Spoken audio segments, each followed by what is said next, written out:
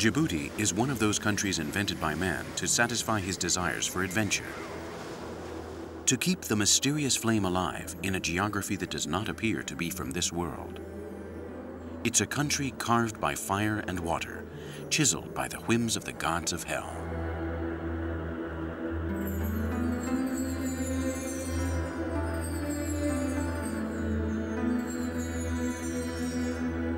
Djibouti is located where nobody can ignore it, in the indispensable corner of the Horn of Africa, right where the continent borders Arabia.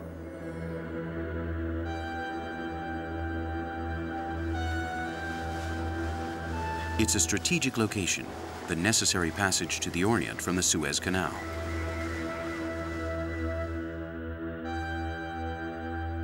In ancient times, it was the meeting point for Indian, Arab, and Greek sailors. Today, it is still a territory receptive to smugglers and go-getters.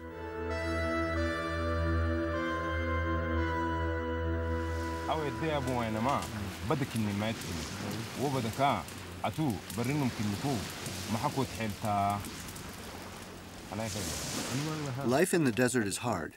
When I traveled in the caravan, there was no time to rest. I lived for the animals day and night. This is why I came to this city with my family. Here my children can study. I couldn't, but my children will have a different future. Don't think it was easy to leave the desert behind.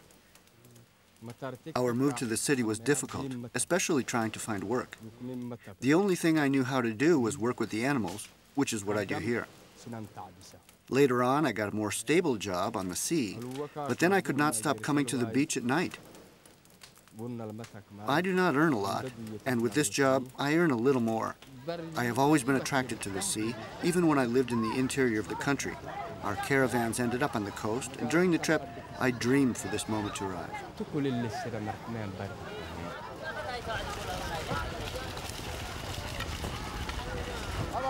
Ludbak was born and raised in the desert in the inland region of Djibouti. He is an Afar, one of the two main tribes that populate the country.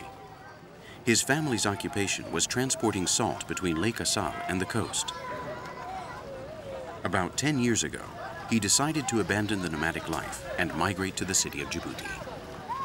All he wanted was to find a job that would allow him to be in permanent contact with the sea, which is why he enlisted as an assistant on a passenger ship, which makes daily trips between the capital and the town of Obok, located at the other end of the Gulf of Tadjoura.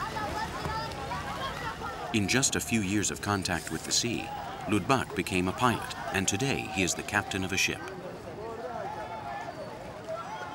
These vessels are named dhows and are almost as old as the Gulf of Tadjoura. There are barely any left, the rest having been substituted by faster motorboats or modern ships with a larger cargo capacity. Nonetheless, most legal trade between Yemen and Djibouti, as well as passenger transportation between the different coastal towns, continues to be carried out on the dhows.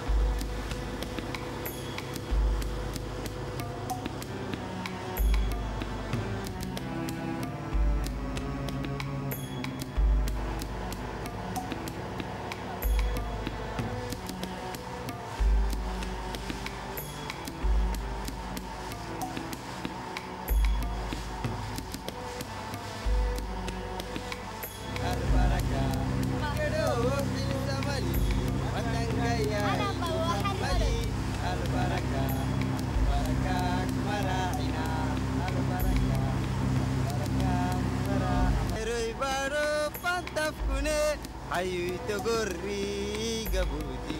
Ai, teu gorriga. Safra amaral, safra badal.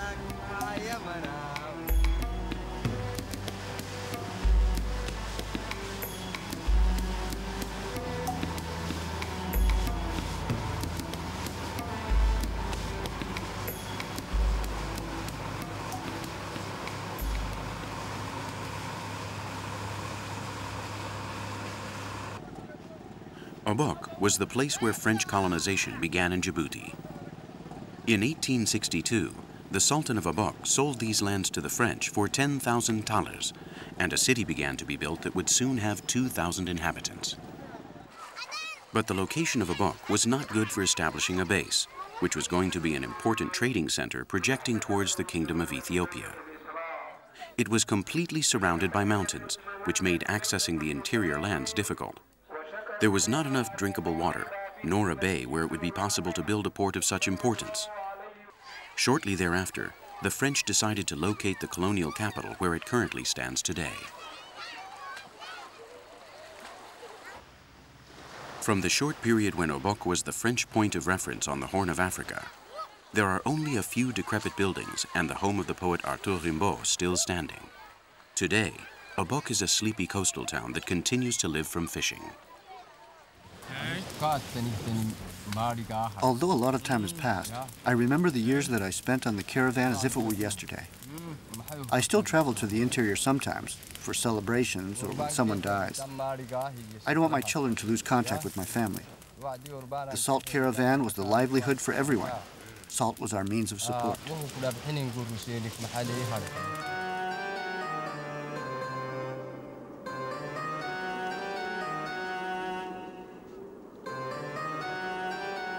In spite of the gradual abandonment of the nomadic life, the caravans that Lutbak refers to still exist.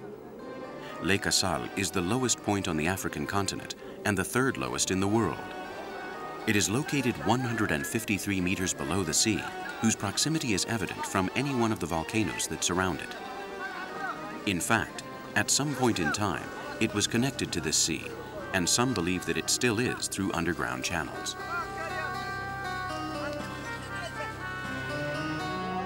The high level of evaporation, 330 grams per liter, causes the water to be saturated with salt and broad expanses of terrain to be fabulous salt mines, which the nomads have used to trade with since time immemorial.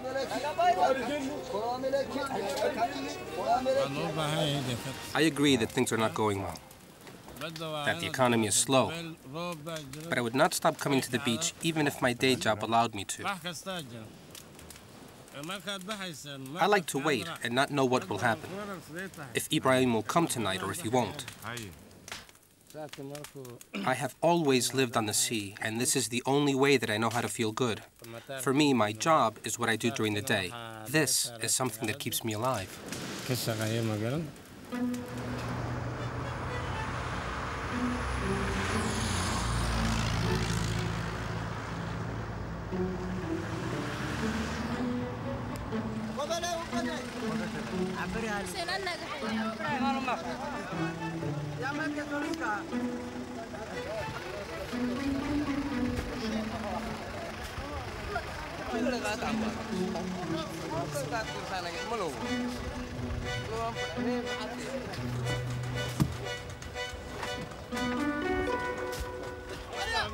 Hey!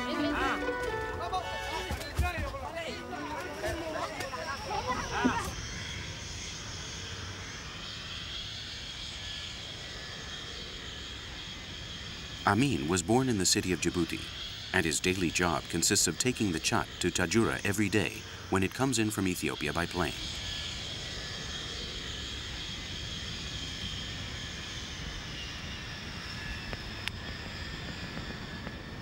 Chat is a stimulant, a plant that gives energy and improves the memory. On a daily basis, Djibouti imports 8 tons of this drug, which is produced in the mountains near the city of Harar. The higher quality plants travel by air. The rest travel by train or in all-terrain vehicles.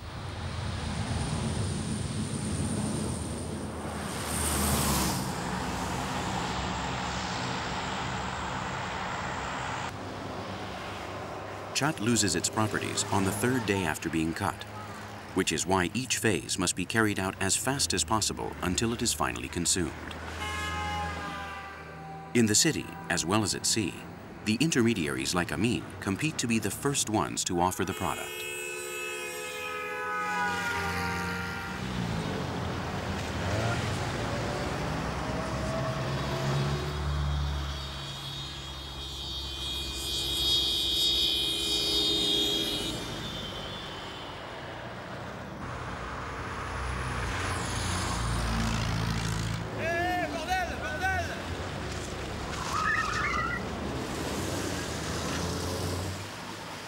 The consumption of chat in Djibouti is generalized. Sex, age, and social class make no distinction. Geography doesn't either. It's consumed in the cities and in the nomadic camps, in the labor camps, and at the fishing ports.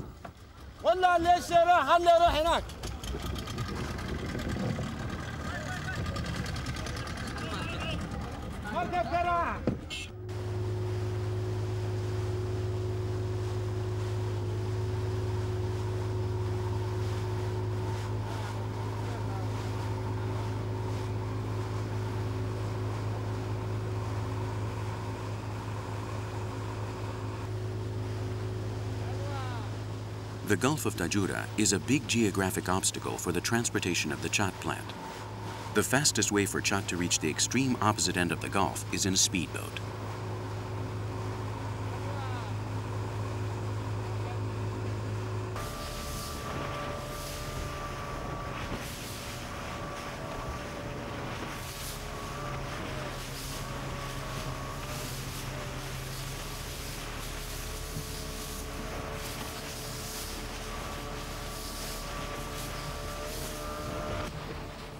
This belly of the sea between the Red Sea and the Gulf of Aden has always been a favored setting for the legal and illegal traffic of all kinds of merchandise. The sale of chat is legal, but before, the sale of arms, slaves, and ivory was legal as well. When they were prohibited, traffic did not stop. It only continued through smuggling, provoking an increase in price.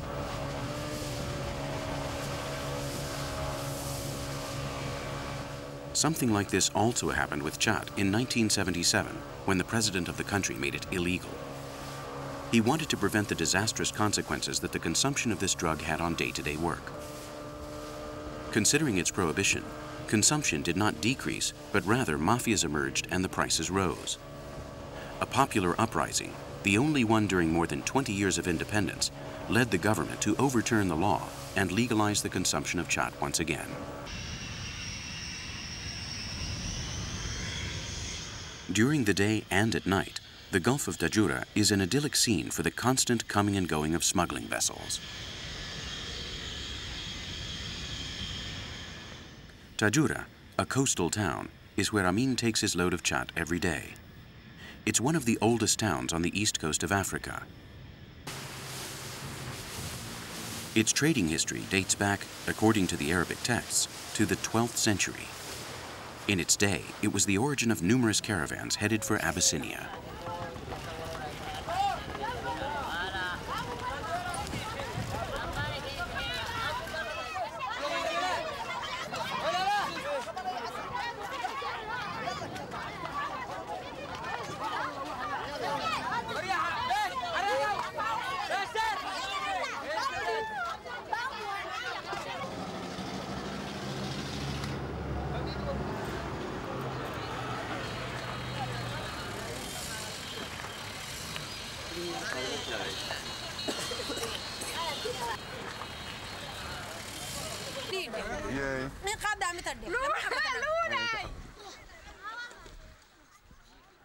During the long year that Rimbaud had to wait before being able to leave with the caravan towards Ethiopia, he lived in Tadjoura.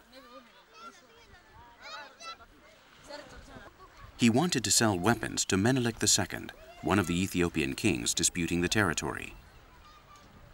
He left Obok, reached his destination, and once there, Menelik deceived him and confiscated his weapons.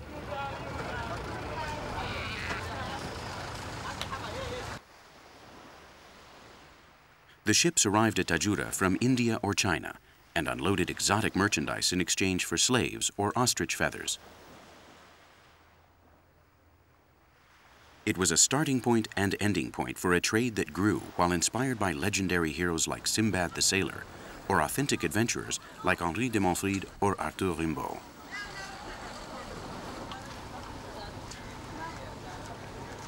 Even today, the final destination of the salt caravans is the town of Tajura.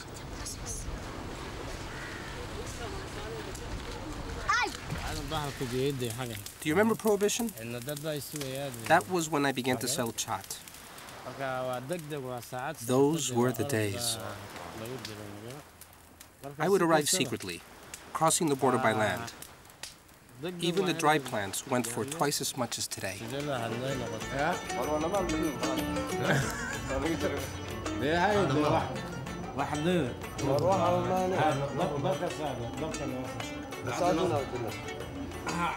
Starting at 1 in the afternoon, the country is paralyzed and everyone spends his or her time chewing chat.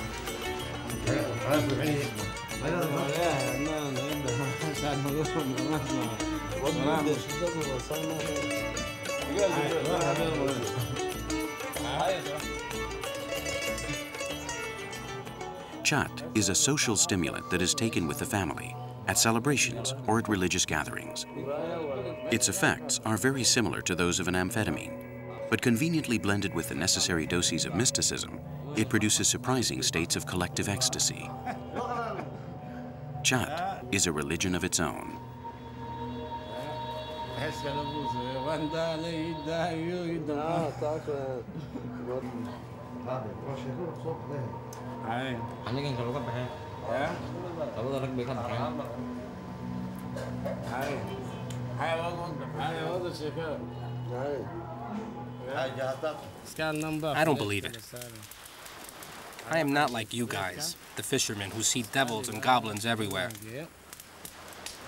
I have passed by there hundreds of times and I have never seen anything. But there must be something, since so many boats have disappeared there.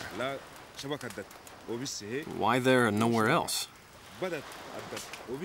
Those beasts are there. They must be really deep, and only come out when the sun sets. I've heard hundreds of stories, and you can tell that they're true. If not, how do you explain the water heating up all of a sudden and it turning red? And the strange whirlpools that form? And how the island disappears?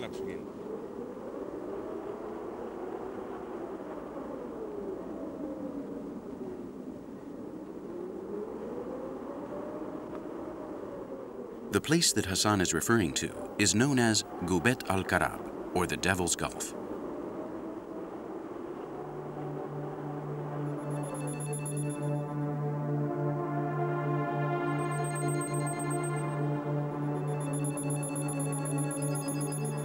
The Bay of Gubet lives trapped in the center of a myth, a myth that creates a land of taboos for most of the local fishermen.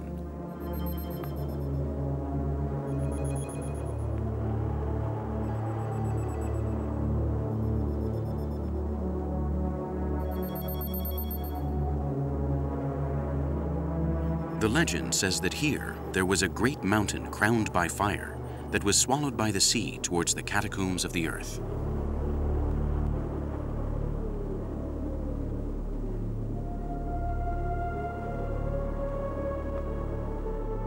On a regular basis, the demons of the underworld used this gate to hell in order to come and go from the human world.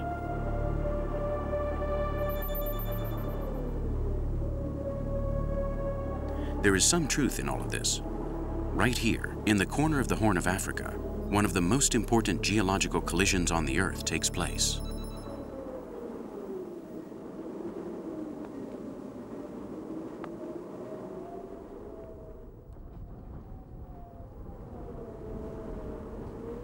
The Earth's surface is formed by six tectonic plates. Djibouti is located at the meeting point of three of them.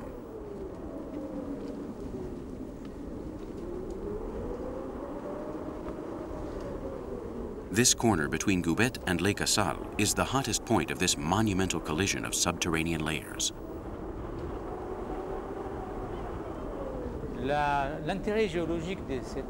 The geological interest of this region reaches far back in time. The first time that Teilhard de Chardin passed through here in 1939, he said that this region belonged to a continental drift area and that the theory of the separation of the continents could be demonstrated here.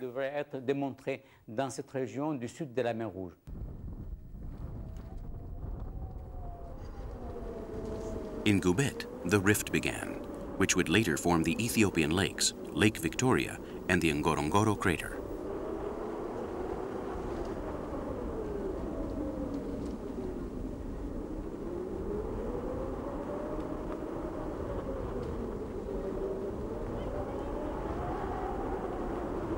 This fault arose over 1 million years ago, but its last eruption dates back to 1978.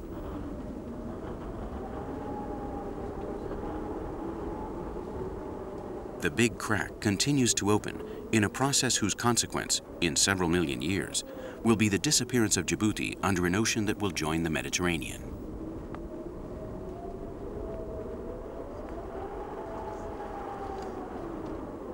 This activity releases energy and creates volcanic crises that provoke the regular appearance of red patches throughout Goubet. Ah, Les gens, justement, considèrent que cette région de Goubet, c'est une région People interpret these facts as being somewhat unusual and believe the events to be diabolic phenomena, just like this place, known as Devil's Island.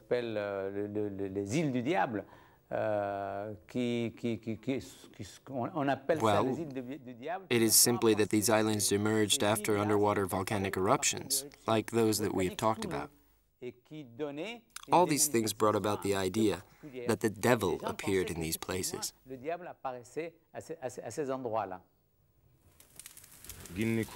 But if not, just think of Samala. Does she or doesn't she have magical powers?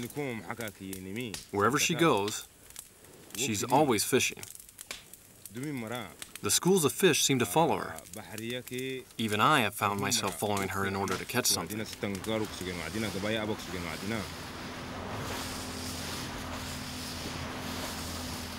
Among the numerous living legends that travel around the Gulf of Tajura, one of the most surprising ones turns Samala into a kind of goddess of the waters.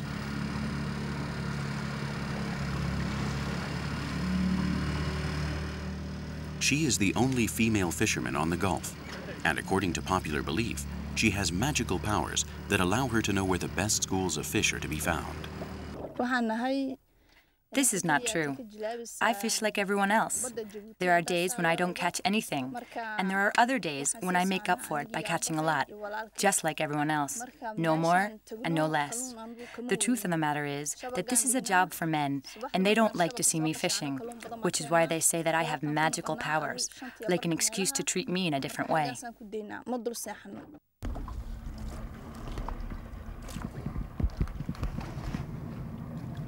Samala's father, who is from Sudan, helps her. He was born in the capital and for many years belonged to the Sufi Brotherhood of Khartoum. The Sufis represent the most mystical side of Islam. Through the study of breathing, dance, and the knowledge of secret magical formulas, the Sufis reach ecstasy and hope to come in contact with God. Maybe it's not Samala, but her father who attracts the fish.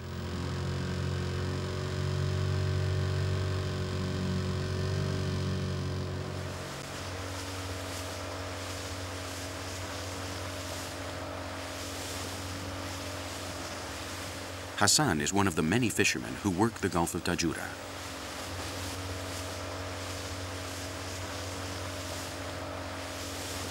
His family has also been dedicated to fishing, especially shellfish, for so many generations that he cannot remember. His father and grandfather were pearl hunters,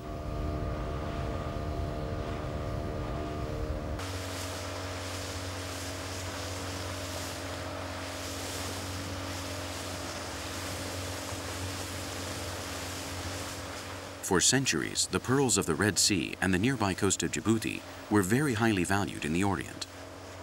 Hundreds of families lived exclusively from this kind of fishing, and they sold the pearls to the intermediaries who arrived on the ships coming from Japan and India.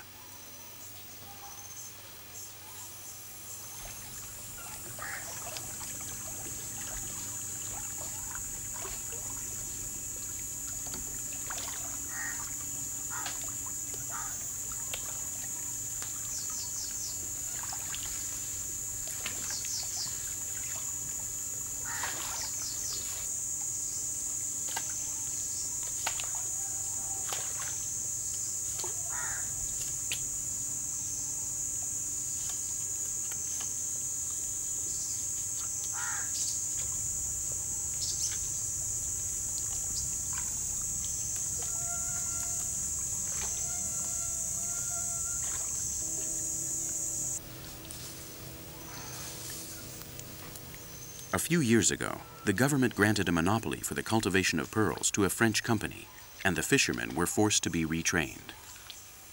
Many stopped fishing and moved to the city.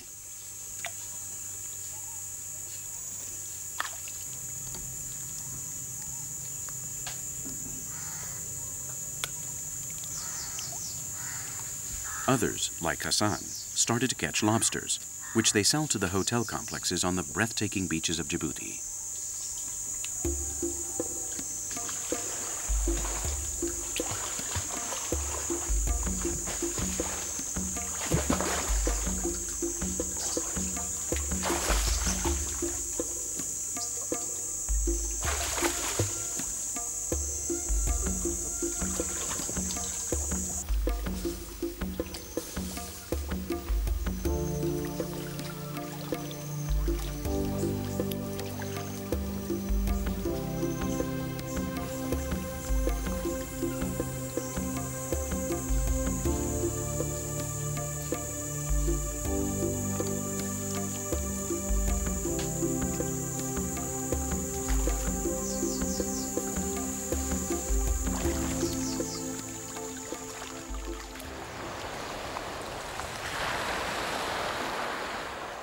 Hassan usually fishes near Moucha, one of the islands most frequented by international tourists.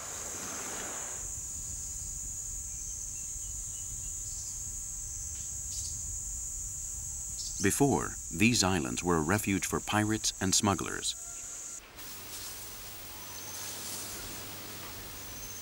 Today, they are natural reserves whose mangroves and coral are preserved like the booty from a treasure island.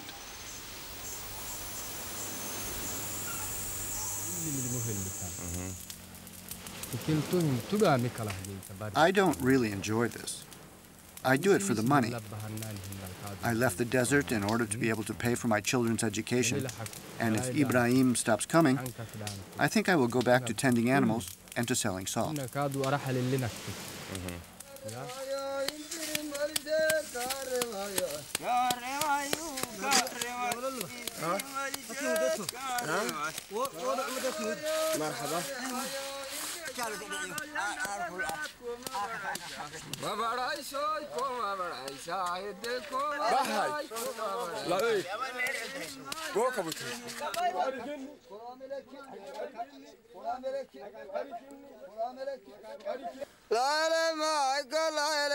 Ludbak spent many years dedicated to the ancestral trading of salt.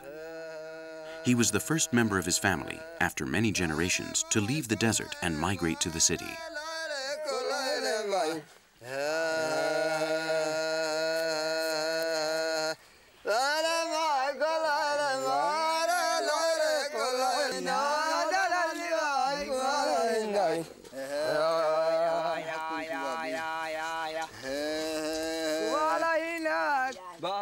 But the activity has not stopped, although it is subsiding due to the modern ways of production that make it difficult to commercialize a product that takes weeks from the time it is collected to the time it can be consumed.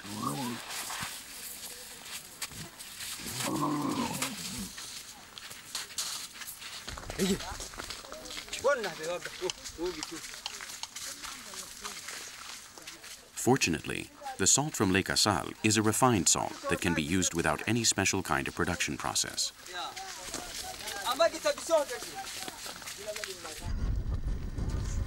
The Afars consume the salt themselves, and even today they sell it in the coastal towns and in the inland mountains of Ethiopia. The times when salt was used as money, with a value similar to that of gold or silver, are gone, however. Yet salt still lets several dozen families earn a living from the last breath of a world that is vanishing inevitably.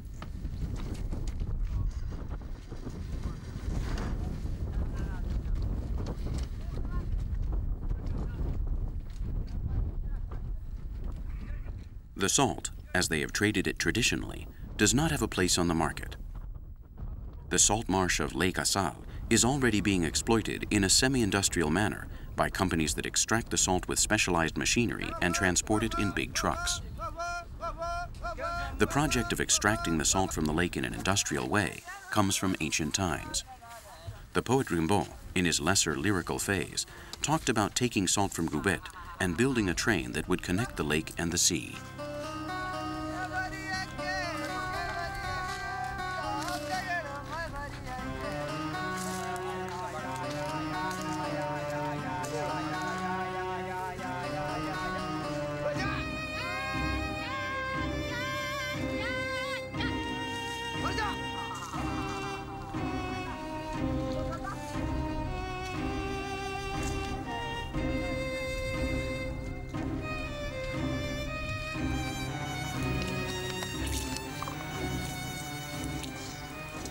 Since colonial times, different concessions opened the door to large-scale exploitation.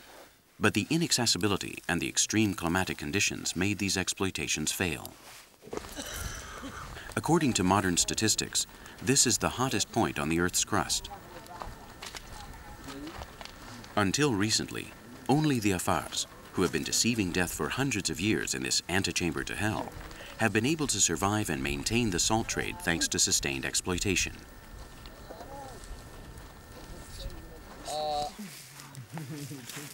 The arrival of the big machines and trucks threatens to ruin them once and for all.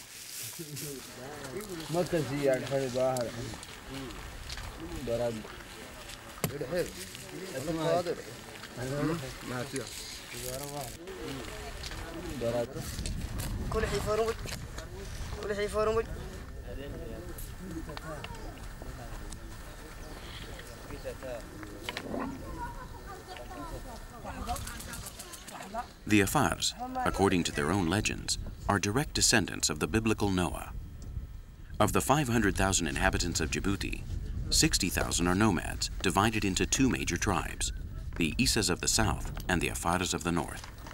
Their relationship has not always been exactly friendly.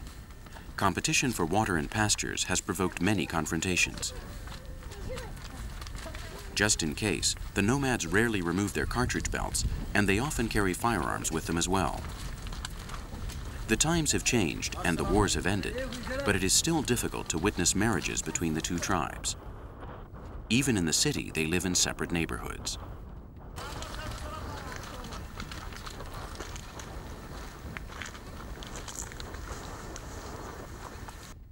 The nomadic life is ending.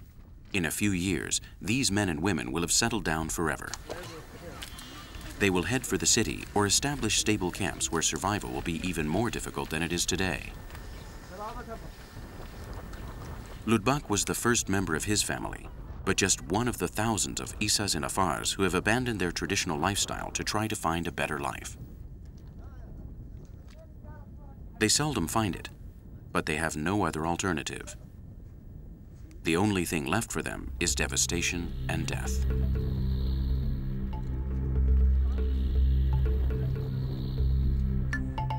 Ludbak was able to prosper in his escape to the city. This is not an exception. Many people prosper. But those who fail share the same look in their eyes. The sensation of rootlessness. The complex of having lost their place in the world.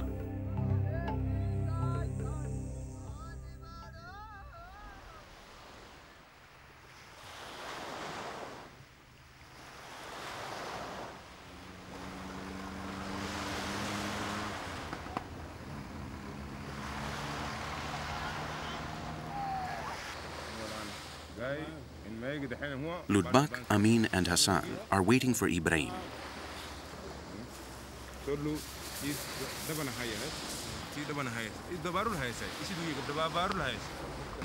They do this once a week when the special loads come in.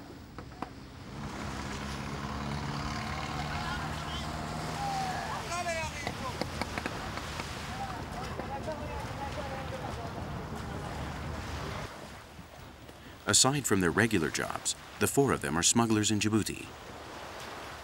Ibrahim brings gasoline, which costs twice as much in Djibouti, in exchange for alcohol and American tobacco.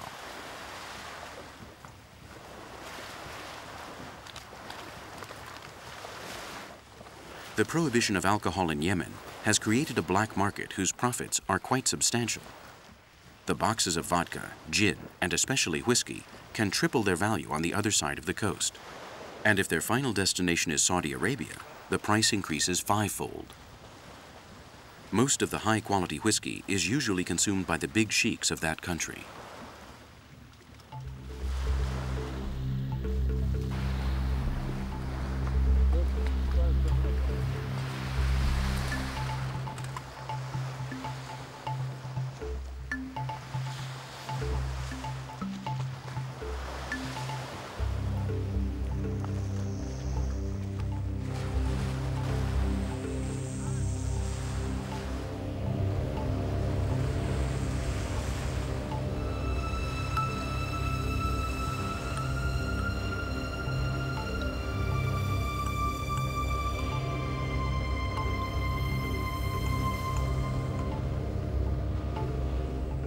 Ibrahim's daily job is shark fishing.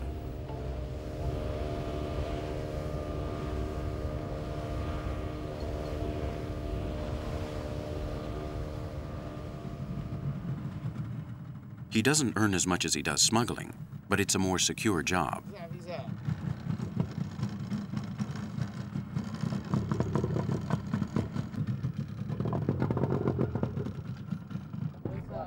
The waters of the Gulf are rich and abundant in species like sharks, whose value on the market is high if sold by parts.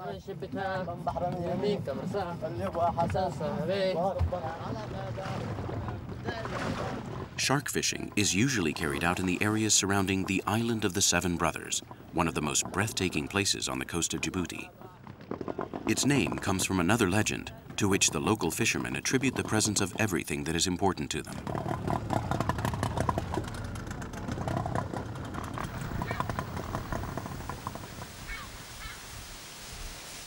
According to this legend, seven terrible outlaws spent years attacking ships and entire towns along the long coast of Yemen.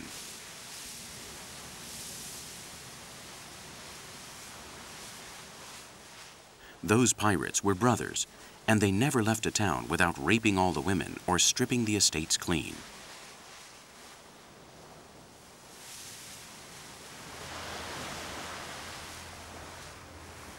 None of the sultans who governed this territory were able to capture those evasive men. They moved around in small ships, attacking and disappearing like authentic attack squads. Only the force of nature was able to stop them. One night, while they were sailing along the coast, a terrible storm took them by surprise. The avenging force of the wind converted the Seven Brothers into seven small islands. Aside from its apparent beauty, it's one of the most violent areas of the Gulf, with strong winds and regular storms.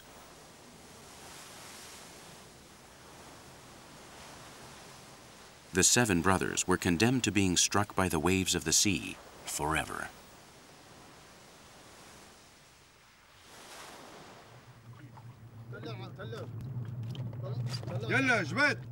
These are good waters for shark fishing, however.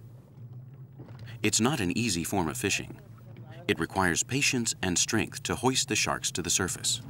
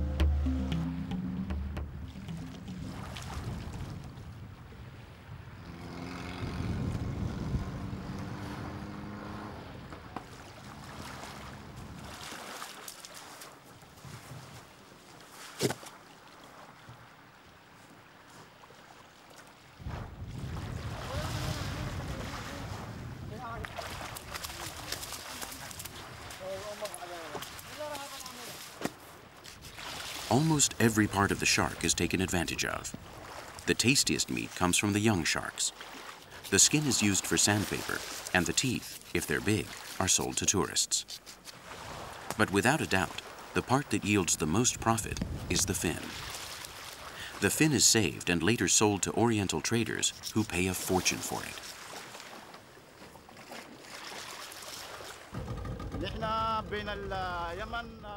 I make my trips to Yemen at night.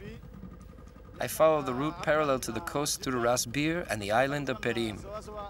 I know this area well. It is also where I fish.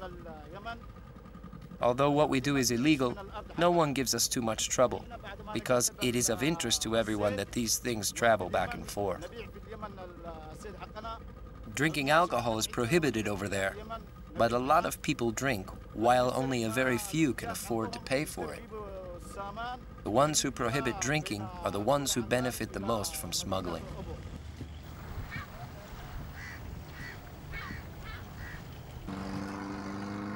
There is a lot of merchandise that is smuggled to and from the Red Sea.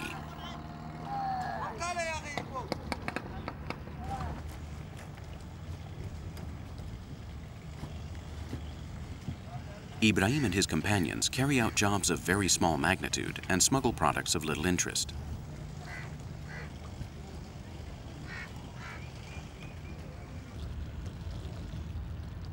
There are hundreds of fishermen and modest sea workers who earn extra income by smuggling.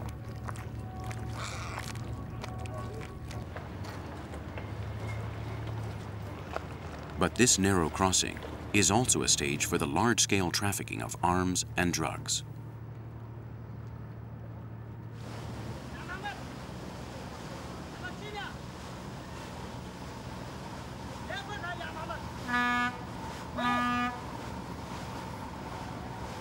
The United Nations spends $100 million a year trying to fight it, with hardly any results to show for it.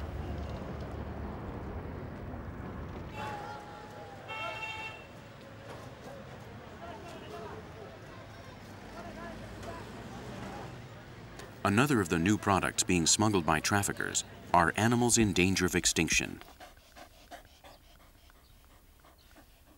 And once again, one of the major distribution centers is Djibouti.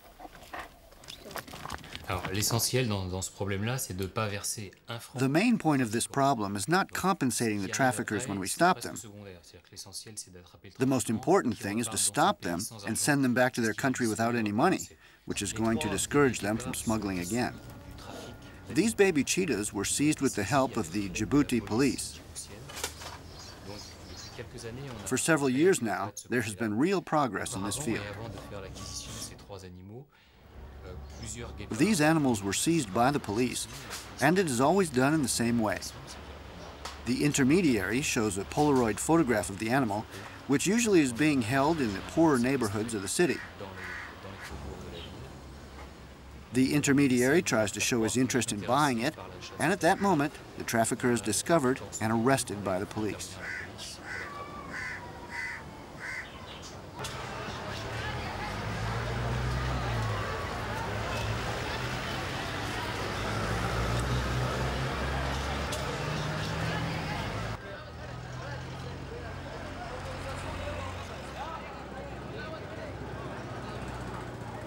These animals originally come from the interior lands of Africa and end up at the mansions of rich Arab or Western businessmen.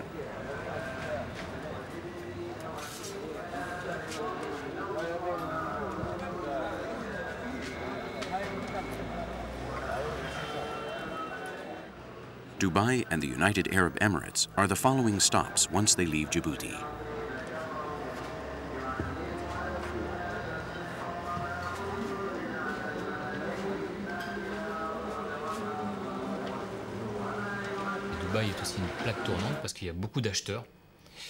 Dubai is the crux of the problem because many buyers from the Arab world go there. Just a short time ago, they even proposed selling us a snow panther from the Himalayas. But what do they do with the animals? This is where there's a real problem. The government wants the animals to stay here. But if they stay, you have to give them a chance to survive. And there are not many solutions. A reproduction center for animals in danger of extinction could be built. At present, though, nothing like this exists.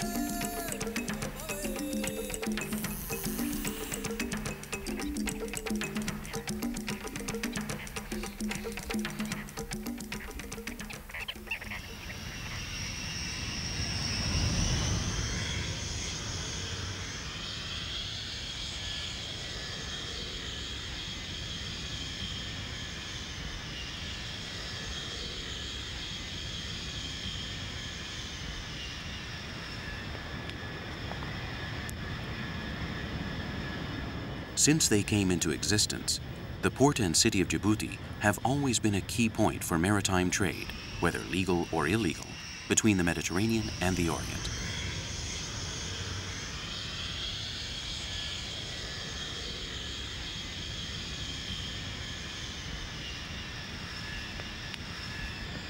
Most of the merchandise that enters the port of Djibouti does so legally,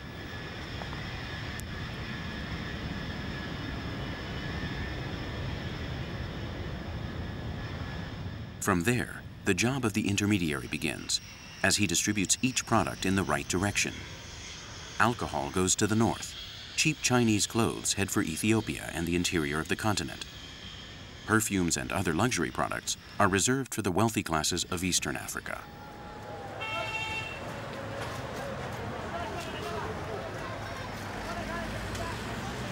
The city of Djibouti has grown around this coming and going of merchandise. But this is nothing new. It's always been this way.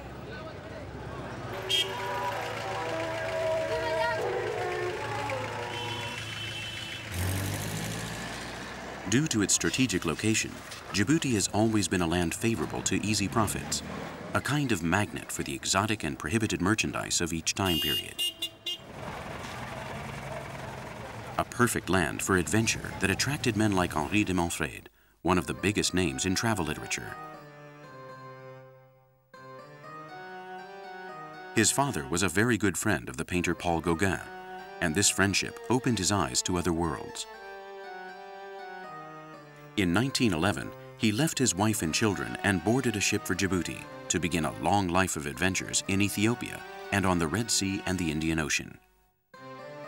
He was a coffee, arms, and pearl dealer, a convert to Islam, a smoker of opium, and the author of more than 70 travel adventure books.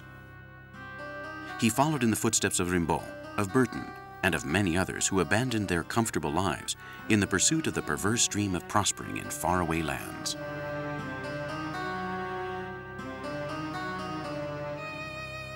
Heroes in flesh and blood, or in legends like El Corto Maltese, the character of Hugo Pratt, who also lived in these latitudes.